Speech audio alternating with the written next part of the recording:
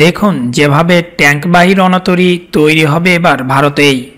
যেসব জাহাজে উপকূলে অবতরণের প্ল্যাটফর্ম বা এলপিডি থাকে, তেমন সব জাহাজের বরাত রাষ্ট্রায়ত্ত এবং বেসরকারি উভয় কোম্পানিকে দেওয়ার সিদ্ধান্ত নিয়েছিল প্রতিরক্ষা মন্ত্রক। কিন্তু সেই সিদ্ধান্ত বদলে ঠিক হয়েছে এ ধরনের জাহাজ বানানোর সমস্ত বরাতি পাবে বেসরকারি নির্মাণ সংস্থা।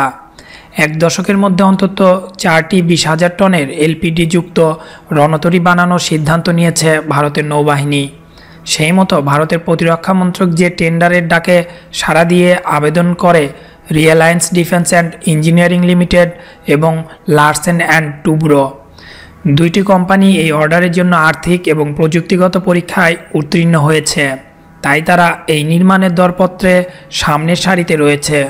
প্রসঙ্গত এল টির সঙ্গে প্রযুক্তিগত সমঝোতা রয়েছে স্পেনের কোম্পানি নেভেন্টিয়ার। অন্যদিকে, ফ্রান্সের ডিসিএনএস এর সঙ্গে নির্মাণগত চুক্তি রয়েছে আরডিএল এর।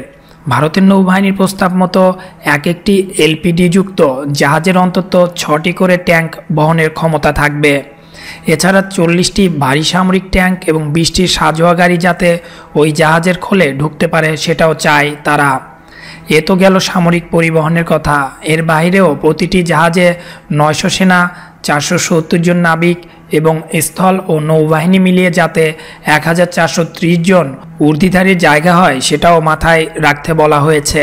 এ বছরের শেষেই এই এলপিডি যুক্ত জাহাজের জন্য দুইশো ষাট কোটি ডলারের চুক্তি সাঙ্গ করা যাবে বলে আশা করেছে ভারতের নৌবাহিনী। এই প্রথম ভারতেরই কোনো কোম্পানি এলপিডি যুক্ত রণতরী বানাতে চলেছে।